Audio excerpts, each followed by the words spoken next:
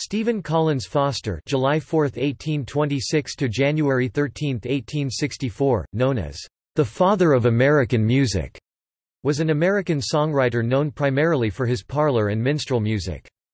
Foster wrote over 200 songs, among his best known are, Oh, Susanna, Hard Times Come Again No More, Camptown Races, Old Folks at Home, Swanee River, My Old Kentucky Home, Jeannie with the Light Brown Hair, Old Black Joe, and Beautiful Dreamer.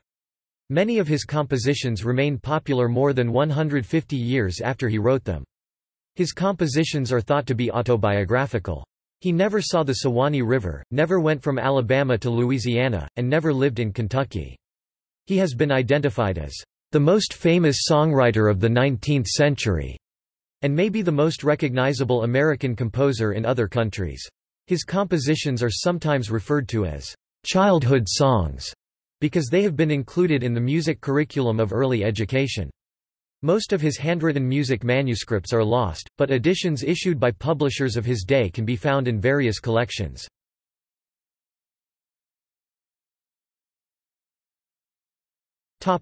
Biography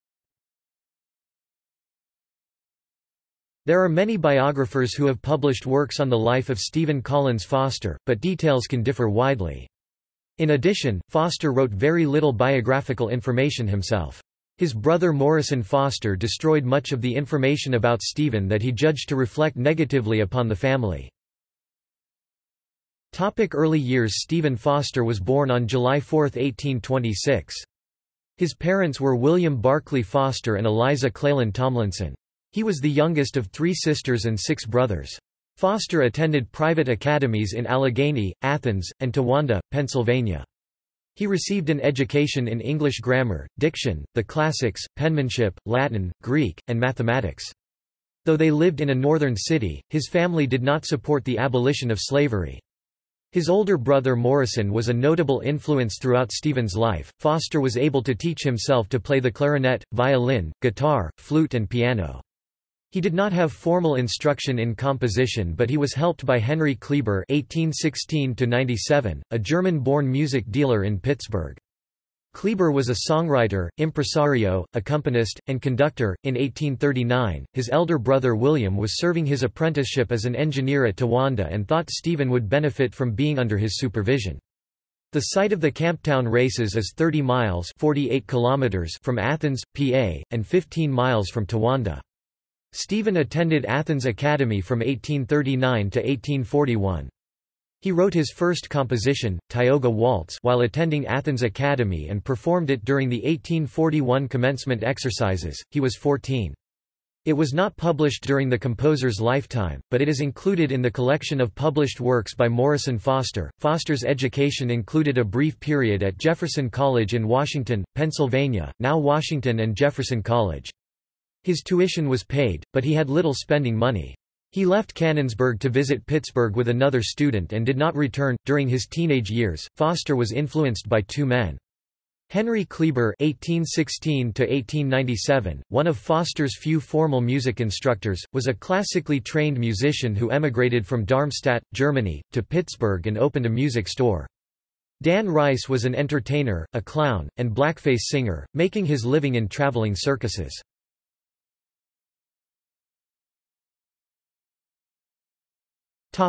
Career In 1846, Foster moved to Cincinnati, Ohio, and became a bookkeeper with his brother Dunning's Steamship Company. While he was in Cincinnati, Foster penned his first successful songs in 1848–1849, among them, Oh, Susanna, which became an anthem of the California Gold Rush. In 1849, he published Foster's Ethiopian Melodies, which included the successful song, Nellie was a lady, as made famous by the Christy Minstrels. A plaque marks the site of Foster's residence in Cincinnati, where the Guilford School building is now located. Then he returned to Pennsylvania and signed a contract with the Christy Minstrels. It was during this period that Foster would write most of his best-known songs. Camptown Races, 1850. Nellie Bly, 1850. Ring de Banjo, 1851. Old Folks at Home, known also as Swanee River, 1851, My Old Kentucky Home, 1853, Old Dog Tray, 1853, and Jeannie with the Light Brown Hair, 1854, written for his wife Jane Denny McDowell. Many of Foster's songs were of the blackface minstrel show tradition popular at the time. Foster sought, in his own words, to build up taste among refined people by making words suitable to their taste, instead of the trashy and really offensive words which belong to some songs of that order. Many of his songs had Southern themes, yet Foster never lived in the South and visited it only once, during his 1852 honeymoon on his brother Dunning's steamboat the Millinger, which took him and his bride down the Mississippi River to New Orleans.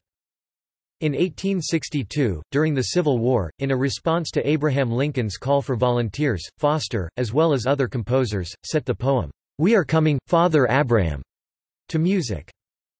Foster's last four years were spent in New York City. Biographical information during this period of his life has not been located or is lost, though correspondence to, from, and between other family members has been preserved.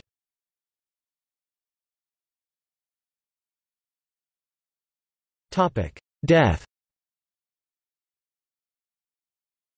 Foster became ill with a fever in January 1864. Weakened, he fell in his hotel in the Bowery, cutting his neck.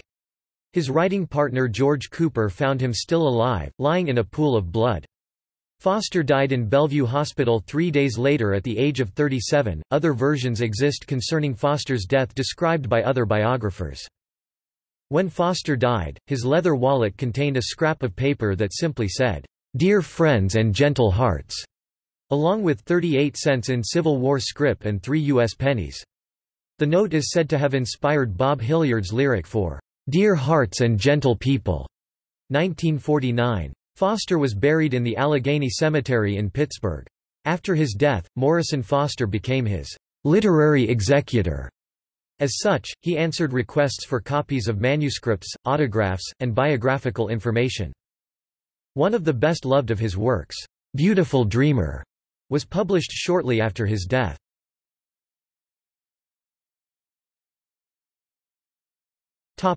Music Growing up in a section of the city where many European immigrants had settled, Foster was accustomed to hearing the music and musical styles of the Italian, Scots-Irish, and German residents in the neighborhood. He composed his first song when he was 14 and entitled it the Tioga Waltz. The first song he had published was Open Thy Lattice Love, 1844. In addition to his well-known and familiar songs which are still widely performed, Foster wrote songs in support of both drinking such as, "'My Wife is a Most Knowing Woman' or "'Mr. and Mrs. Brown' or "'When the Bowl Goes Round' and temperance, such as, "'Comrades Fill No Glass for Me' or "'The Wife'. Foster also authored many church hymns. The inclusion of his hymns in hymnals ended by 1910. Some titles of the hymns are, Seek and ye shall find. All around is bright and fair, while we work for Jesus. And Blame not those who weep and sigh. Several rare Civil War-era hymns by Foster were performed by the Old Stoughton Musical Society Chorus. The Pure, the Bright, the Beautiful. Over the River. Give Us This Day. And What Shall the Harvest Be? On a disc compiled and edited by Roger Lee Hall entitled Glory, Hallelujah, Songs and Hymns of the Civil War Era. Foster usually sent his handwritten scores directly to his publishers. The publishers kept the sheet music manuscripts and did not give them to libraries nor return them to his heirs. Some of his original, handwritten scores were bought and put into private collections and the Library of Congress. Topic popular songs Generally speaking, Foster's songs' lyrics and melodies have often been changed and altered both by publishers, and performers. My Old Kentucky Home is the official state song of Kentucky, adopted by the General Assembly on March 19, 1928.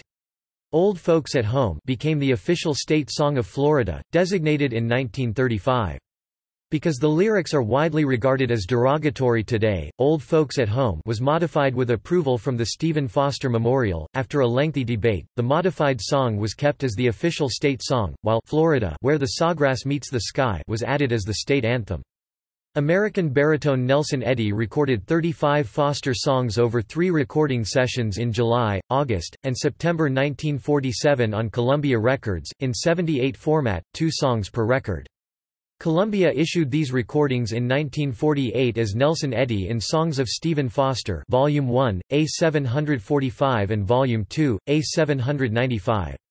In 2005, Jasmine Records compiled all 35 Foster songs in one CD. Nelson Eddy sings the Stephen Foster Songbook, JASCD 421. In these performances, arranger, conductor Robert Armbruster made every attempt to frame Nelson Eddy's voice with a simple, yet colorful, orchestral and choral background, the norm of Stephen Foster's time. Liner notes by Robert Nikora July 2005. American classical composer Charles Ives freely quoted a wide variety of Foster's songs in many of his own works. Douglas Jimerson, a tenor from Baltimore who has released CDs of music from the Civil War era, released Stephen Foster's America in 1998. Just before his death in 2004, singer-songwriter Randy Van Warmer completed an entire album of Stephen Foster songs. It was released posthumously as Sing Stephen Foster.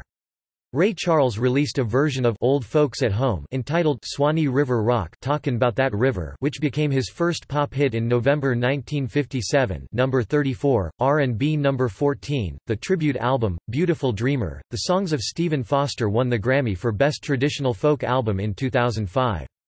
Among the artists who are featured on the album are John Prine, Ron Sexsmith, Alison Krauss, Yo-Yo Ma, Roger McGuinn, Mavis Staples, and Suzy Bogguss.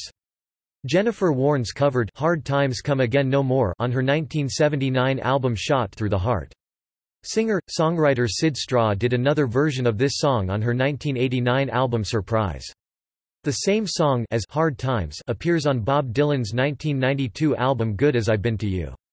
The Byrds did a rock and roll version of Oh Susanna on their 1965 album, Turn Turn Turn, while James Taylor offered a traditional folk version of Oh Susanna on his 1970 album, Sweet Baby James. In 2012, performer and educator Jonathan Guyot Smith taught a college course devoted exclusively to the study of Foster's music and released an album of Foster songs, Stephen Foster Melodies and Serenades for the American Parlor, that contains several seldom heard Foster songs. The performances are in the style of a 19th-century parlor performance rather than in the manner of a formal concert.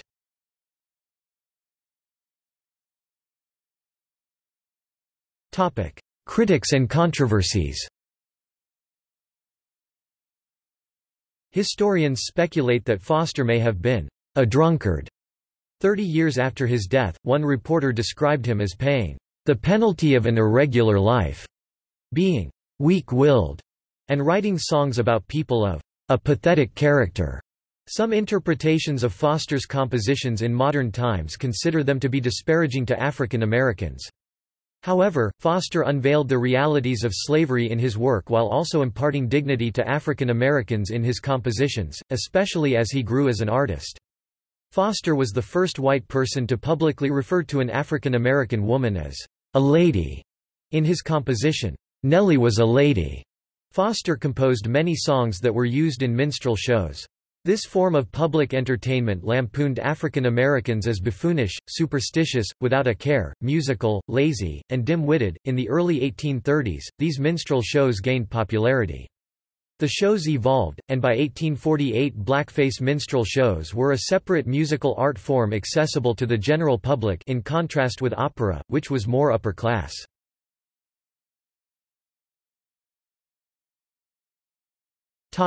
Greenfield Village and the Henry Ford Museum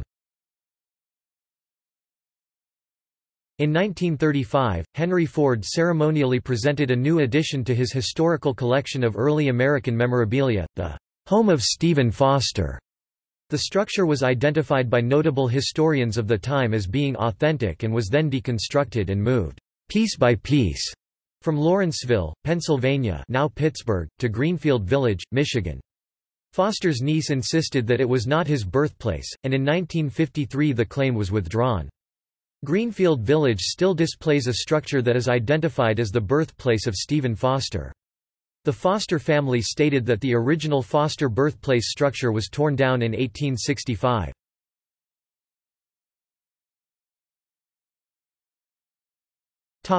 Legacy Topic musical influence Many early filmmakers selected Foster's songs for their work because his copyrights had expired and cost them nothing. Professor of folklore and musician John Minton wrote a song titled Stephen C. Foster's Blues. Erika M. Anderson, of the band Emma, refers to Foster's Camptown Races in the song California, from Past Life Martyred Saints 2011, I Bet My Money on the Bobtail Nag, Somebody Bet on the Bay. The Firesign Theatre makes many references to Foster's compositions in their CD, Boom Dot Bust 1999, Rhino Records Larry Kirwan of Black 47 mixes the music of Foster with his own in the musical Hard Times, which earned a New York Times accolade in its original run, a knockout entertainment. Kirwan gives a contemporary interpretation of Foster's troubled later years and sets it in the tumultuous time of the New York draft riots and the Irish-Negro relations of the period. A revival ran at the Cell Theatre in New York in early 2014. Spike Jones recorded a comedy Send Up I Dream of Brownie in the Light Blue Jeans. The swing revival band Squirrel Nut Zippers released a song entitled The Ghost of Stephen Foster. Humorist Stan Freberg imagined a 1950s-style version of Foster's music in Rock Around Stephen Foster and, with Harry Shearer, had a sketch about Foster having writers block in a bit from his United States of America project. Songwriter Tom Shaner mentions Stephen Foster meeting up with Eminem's alter ego Slim Shady on the Bowery in Shaner's song Rock and Roll is a Natural Thing. The music of Stephen Foster was an early influence on the Australian composer Percy Grainger, who stated that hearing Camptown Races sung by his mother was one of his earliest musical recollections. He went on to write a piece entitled Tribute to Foster, a composition for mixed choir, orchestra, and pitched wine glasses based on the melody of Camptown Races. Art Garfunkel was cast as Stephen Foster and sang his songs in an elementary school play in Queens, New York.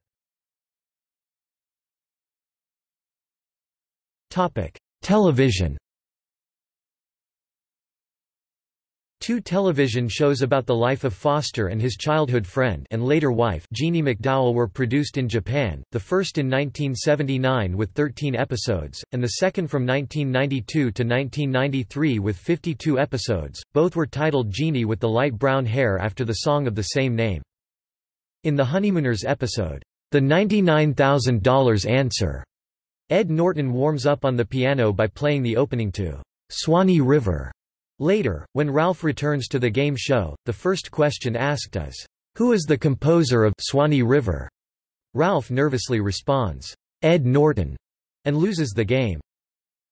In a Fractured Fairy Tales segment of the Rocky and Bullwinkle show, Aladdin finds a lamp with a female genie with light brown hair, who immediately asks, Are you Stephen Foster? Topic. Film Three Hollywood films have been made of Foster's life, Harmony Lane 1935 with Douglas Montgomery, Swanee River 1939 with Don Ameche, and I Dream of Jeannie 1952, with Bill Shirley. The 1939 production was one of 20th Century Fox's more ambitious efforts, filmed in Technicolor, the other two were low-budget affairs made by B-Movie Studios. In the film Tombstone, Billy Clanton played by Thomas Haden Church tries to bait Doc Holliday Val Kilmer, who is playing a Chopin nocturne on the piano, by saying, "'Is that Old Dog Tray? That sounds like Old Dog Tray to me." When the goad fails, Clanton asks whether Doc knows any other songs, like, "'Camptown Races, Oh Susanna' You know, Stephen Stinkin' Foster? In the film A Million Ways to Die in the West, Seth MacFarlane's character Albert can't get a song out of his head. Charlize Theron's character suggests singing a different song, to which he replies, "'There are only like three songs." And she adds, "'And they're all by Stephen Foster." The song in question, "'If You've Only Got a Mustache' was actually composed by Foster.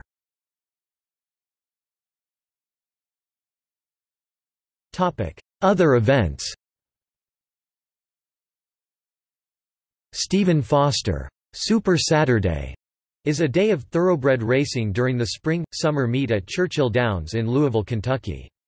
During the call to the post, selections of Stephen Foster songs are played by the track bugler, Steve Buttleman. The day is headlined by the Stephen Foster Handicap, a Grade I dirt race for older horses at 9 furlongs. 36 USC Section 140 designates January 13 as Stephen Foster Memorial Day, a United States national observance. In 1936, Congress authorized the minting of a silver half dollar in honor of the Cincinnati Musical Center. Foster was featured on the obverse of the coin. Stephen Foster Music Camp is a summer music camp held on EKU's campus of Richmond, Kentucky. The camp offers piano courses, choir, band, and orchestra ensembles.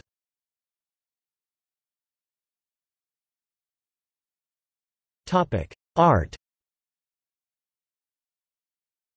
A public sculpture by Giuseppe Moretti honoring Foster and commemorating his song, "'Uncle Ned' sat in close proximity to the Stephen Foster Memorial until 2018. The statue was removed following complaints about the banjo-playing slave seated next to Foster. In Alms Park in Cincinnati, overlooking the Ohio River, there is a seated statue of him. The Hall of Fame for Great Americans in the Bronx, overlooking the Harlem River, has a bronze bust of him by artist Walter Hancock. Added in 1940, he is among only 98 honorees from 15 classes of distinguished men and women. In My Old Kentucky Home State Park in Bardstown, Kentucky, a musical, called The Stephen Foster Story has been performed since 1958. There is also a statue of him next to the Federal Hill Mansion, where he visited relatives and which is the inspiration for My Old Kentucky Home. A painting by Howard Chandler Christy entitled, "'Stephen Foster and the Angel of Genius' is on display in the park's art collection. The painting inspired Florence Foster Jenkins to author a tableau in which she personally plays the role of the angel depicted in Christie's painting. The scene was featured in the film Florence Foster Jenkins in 2016.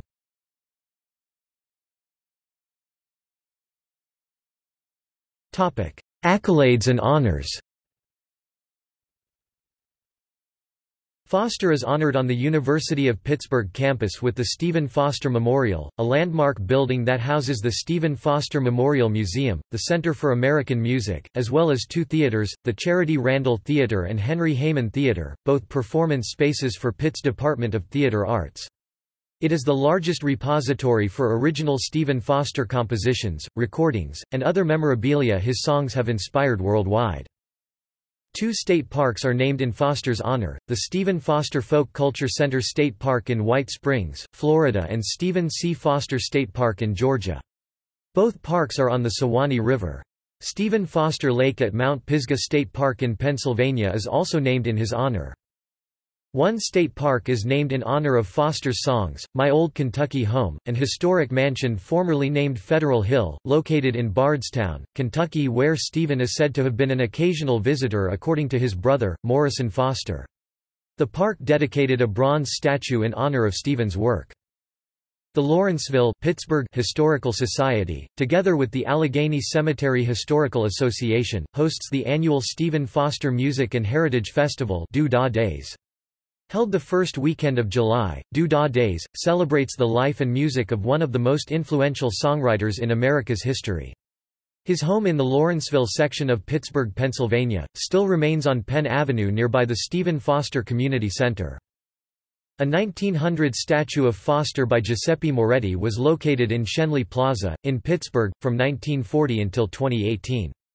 On the unanimous recommendation of the Pittsburgh Art Commission, the statue was removed on April 26, 2018. Its new home has not yet been determined. It has a long reputation as the most controversial public art in Pittsburgh, for its depiction of an African American banjo player at the feet of the seated composer. Critics say the statue glorifies white appropriation of black culture, and depicts the vacantly smiling musician in a way that is at best condescending and at worst racist.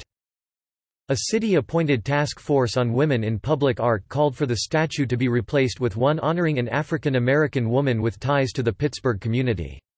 The task force held a series of community forums in Pittsburgh to collect public feedback on the statue replacement and circulated an online form which allowed the public to vote for one of seven previously selected candidates or write in an alternate suggestion. However, the Task Force on Women in Public Art and the Pittsburgh Art Commission have not reached an agreement as to who will be commemorated or if the statue will stay in the Schenley Plaza location.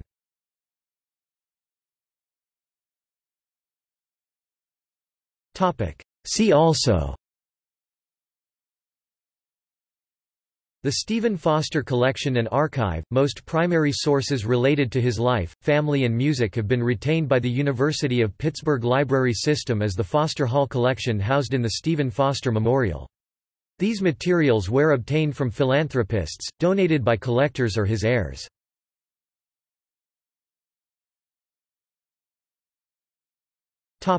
Notes One of Stephen Foster's best-known songs, "'Camptown Races' is actually titled, "'Gwine to Run All Night'", though, "'Camptown Races' is the name that gained popularity.